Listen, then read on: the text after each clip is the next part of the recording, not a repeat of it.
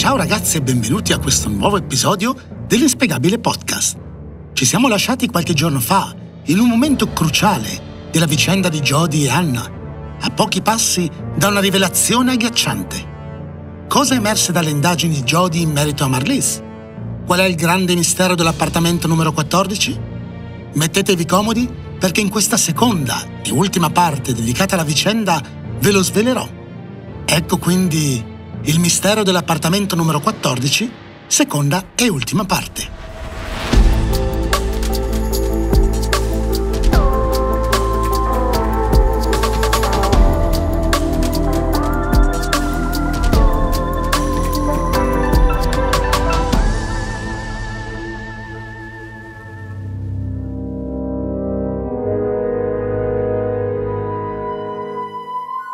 Nella biblioteca di Chico, articolo dopo articolo, Jory fu finalmente in grado di ricostruire la storia di Marlies e la dinamica della sua scomparsa.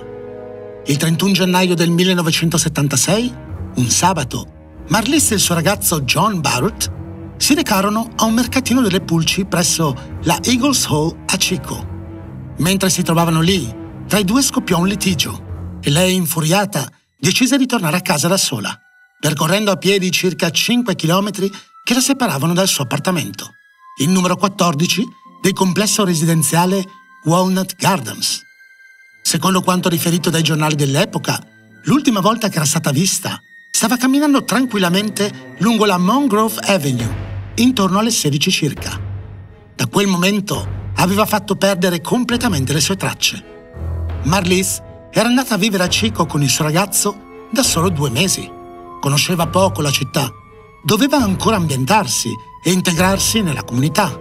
Quindi la sua scomparsa improvvisa fu accolta con una certa apprensione, soprattutto della sua famiglia. Tornato a casa, il suo ragazzo John notò che tutti gli effetti personali di Marlies si trovavano ancora nell'appartamento.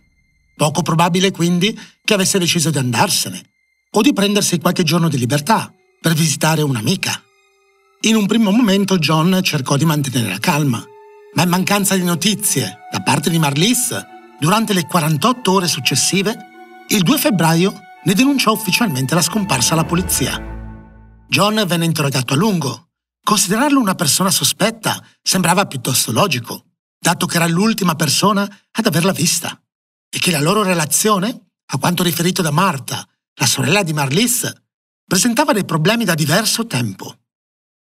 Il giovane negò qualsiasi tipo di coinvolgimento e accettò di sottoporsi al test della macchina della verità, superandolo senza problemi.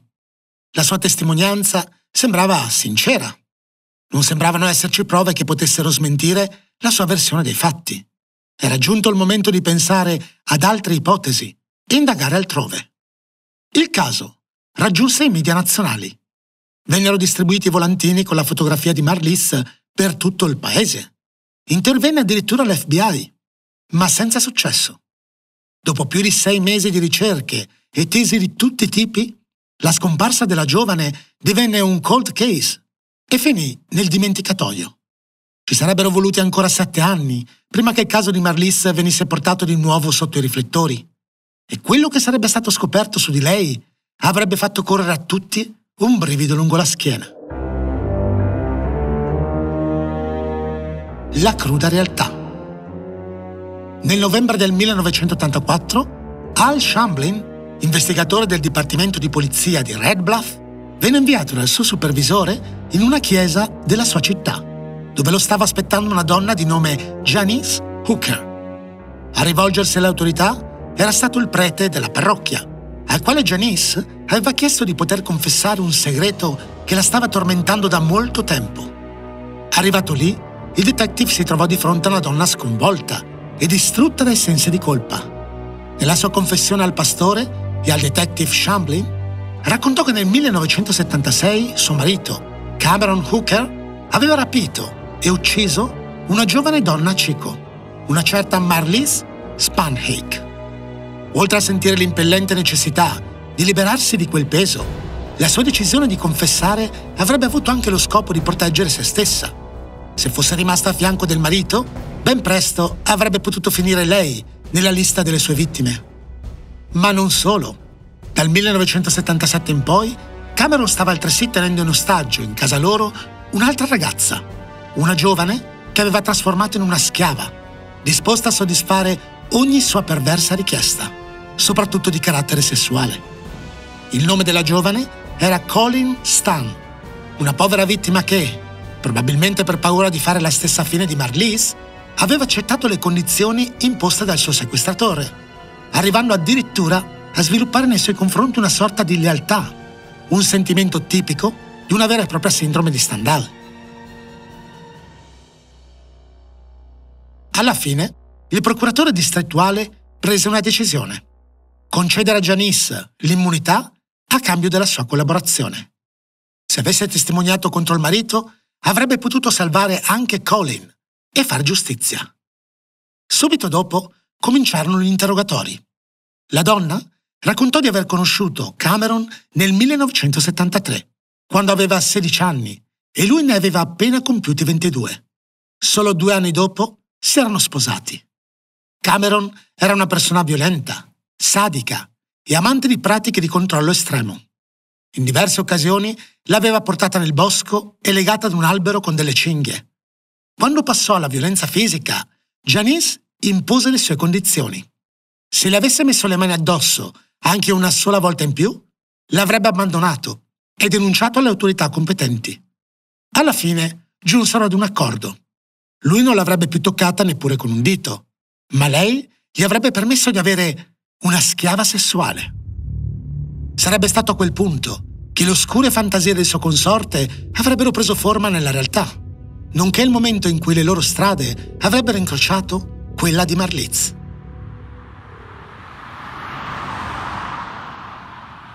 Durante una gita a Chico, il 31 gennaio 1976, Janice, Cameron videro Marlise camminare lungo la Mongrove Avenue.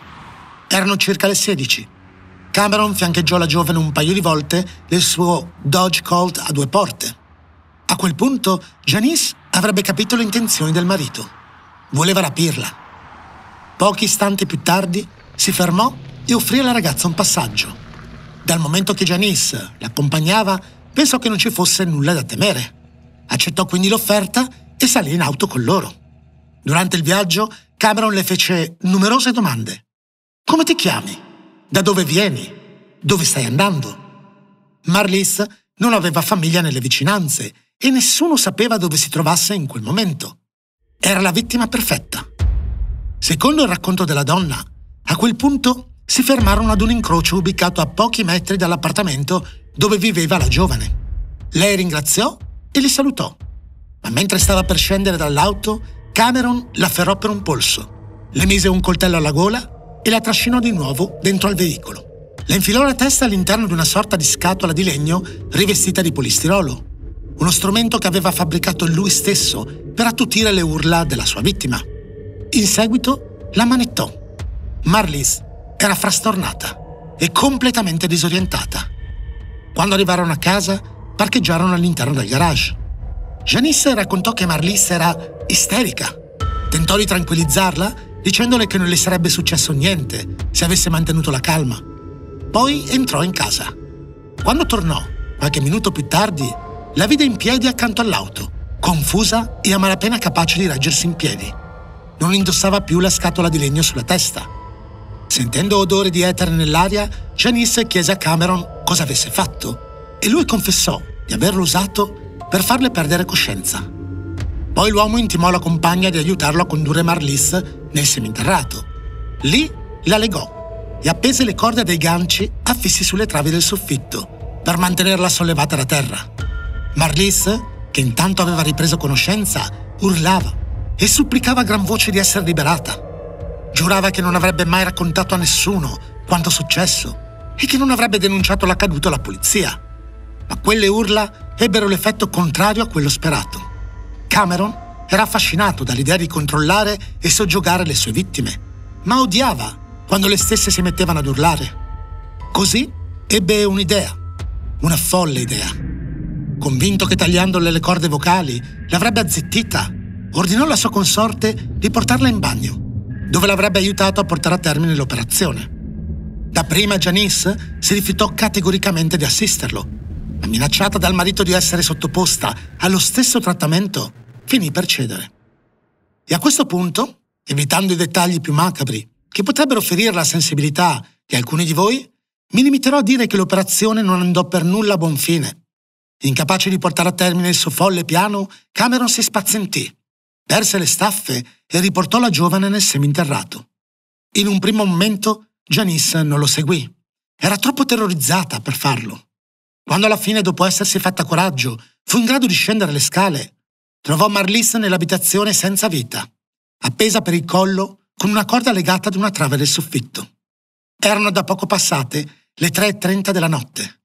Forse le 3.37? L'ora alla quale Jodie si era svegliata di soprassalto decine di volte, tormentata dagli incubi in cui riviveva quanto successo alla giovane. Subito dopo, l'uomo avrebbe ordinato a Janice di aiutarlo. Marlis sarebbe stata avvolta in una coperta, infilata nel bagagliaio della sua macchina e portata in un luogo sperduto per essere seppellita. Janice non avrebbe avuto scelta. Terminato il compito, poche settimane dopo, avrebbe rapito Colin, che a differenza di Marlis capì subito che l'unico modo di uscire viva da quella situazione sarebbe stata quella di assecondare il suo carnefice. Colin non contattò mai la polizia, solo perché aveva promesso a Janice di non farlo. Erano convinte che Cameron avrebbe capito i suoi errori e sarebbe cambiato. Quindi gli fu fedele Fu solo quando Janice parlò con la polizia nel 1984 che, anche lei, decise di raccontare tutta la verità. Nel suo resoconto dei fatti, non dimenticò di menzionare di aver visto le foto di Marlis in casa, quindi di essere cosciente che fosse stata una vittima prima del suo arrivo in casa Hooker. Le versioni delle due donne coincidevano e finalmente ci sarebbero stati i presupposti per portare Cameron di fronte alla giustizia. Nella sua confessione, Janice riuscì a ricordare il soprannome e il luogo di nascita di Marlis. Descrisse anche i vestiti che indossava quando la rapirono, ma purtroppo non fu in grado di ricordare il luogo dove avevano seppellito il suo cadavere. Fece diversi tentativi per risalire al cammino fatto per giungere nel punto esatto dove l'avevano sotterrata, ma fu tutto inutile. In mancanza di un corpo, l'omicidio della ragazza non avrebbe potuto essere provato o attribuito a Cameron. In breve, per assicurarsi che l'uomo pagasse e che fosse condannato. Tutta l'attenzione avrebbe dovuto concentrarsi su Colin. Era l'unica che poteva testimoniare. Nell'ottobre del 1985 Cameron venne processato quindi per i crimini contro Colin. Lei raccontò per filo e per segno i dettagli in merito al suo rapimento. Anche Janice fu chiamata a testimoniare. Alla domanda sul perché avesse deciso di aiutare il marito a compiere quei crimini, rispose che lo fece per paura perché le aveva detto che se non l'avesse fatto sarebbe bruciata all'inferno. I dettagli emersi durante il processo furono semplicemente terrificanti, ma nessuno di essi riguardò Marlis. Il processo durò sei settimane. A novembre Cameron venne condannato per dieci capi d'accusa, tra cui rapimento e stupro. Al momento di emettere la sentenza, il giudice dichiarò quanto segue. Considero quest'uomo forse il più pericoloso psicopatico con cui abbia mai avuto a che fare. In seguito, rivolgendosi a lui, gli disse, Sento che finché vivrà, lei sarà sempre un pericolo per le donne che la circondano. Le darò il massimo della pena possibile, 104 anni di reclusione. Giustizia era stata fatta, o almeno in parte. Mentre il caso di Colin era stato chiuso, quello di Marlis rimaneva aperto e lo sarebbe rimasto per sempre. In mancanza di nuove prove o altre piste da seguire, le indagini giunsero infine ad un punto morto. La sorella di Marlise, Marta, non poteva credere che la polizia fosse incapace di trovare il corpo della sorella. Era furiosa per il fatto che Marlise non fosse nemmeno stata menzionata durante il processo. Perché non era possibile fare giustizia anche per lei? Ma fu dopo aver appreso i dettagli sulla scomparsa e il presunto omicidio della ragazza che Jodie prese finalmente coscienza di un fatto innegabile. Moltissimi dettagli dei suoi strani sogni e dei numerosi incubi avuti mentre viveva nell'appartamento numero 14 coincidevano in tutto e per tutto con la confessione di Janice. La coppia di malintenzionati in macchina, la ragazza con i capelli castani, la luce fioca nel seminterrato, il gancio sul soffitto e quell'ora ricorrente alla quale si svegliava di soprassalto, le 3.37, l'ora in cui Marlise esalò il suo ultimo respiro, forse. Quella presa di coscienza le fece capire che la chiave stava proprio lì, nelle immagini elaborate durante il sonno. Scavò nella memoria per raccogliere quanti più dettagli possibili emersi all'interno dei suoi incubi e di colpo ne ricordò uno importantissimo. Non ci pensò molto e chiamò il dipartimento di polizia di Red Bluff dicendo di dover parlare con il detective Hale. La storia che raccontò la gente aveva dell'incredibile. Jody sosteneva di avere un'idea di dove Marlis potesse essere sepolta. Nei suoi sogni, da mesi ormai, veniva tormentata in continuazione dagli stessi numeri e lettere. A17, 35, 76. E se la A17 fosse stata la strada che l'assassino avesse preso per giungere sul luogo della sepoltura? E se quel 35-76 fosse stata la distanza percorsa da Cameron in macchina per arrivare lì? Il detective Hale mantenne sempre una posizione alquanto scettica sulla faccenda. Come dar credito a quello che diceva Jody? Sogni rivelatori? Tuttavia, a scanso di equivoci, questi dati vennero comunque inseriti in un software di mappatura e immaginate la sorpresa quando Hale scoprì che la distanza tra la casa di Cameron Hook e la zona dove, dagli indizi raccolti, si supponeva che potesse essere stato sepolto il corpo senza vita di Marlis era di 35.77 miglia. Coincidenza? Beh, se così fosse, si tratta di una coincidenza un po' troppo grande, non trovate? Ad ogni modo, questo non è stato sufficiente per portare alla luce i resti di Marlis. E forse è proprio questa la ragione per cui il suo vecchio appartamento è lo scenario di tali eventi paranormali. Ancora oggi Jody ha difficoltà a parlare di quanto vissuto all'interno dell'appartamento numero 14. Afferma di aver sempre avvertito che in quella casa ci fosse una presenza disperatamente bisognosa di essere ascoltata e aiutata. A detta sua, lo spirito di Marlis vuole solo che i suoi resti siano finalmente portati alla luce e che Cameron paghi anche per lei. Solo così sarà in grado di riposare in pace. Ma ora la parola passa a voi. Cosa ne pensate di questa vicenda incredibile?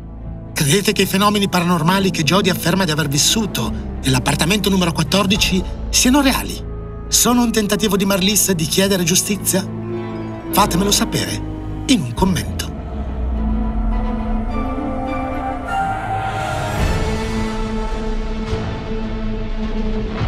I just learned that the more I fought him, the longer the torture was. The more it went on, the more excited he got. Where if I could just try to tolerate the pain the best I could and let him do his whatever he did, well, then he would kind of lose interest, you know, and uh, and it would be over quicker.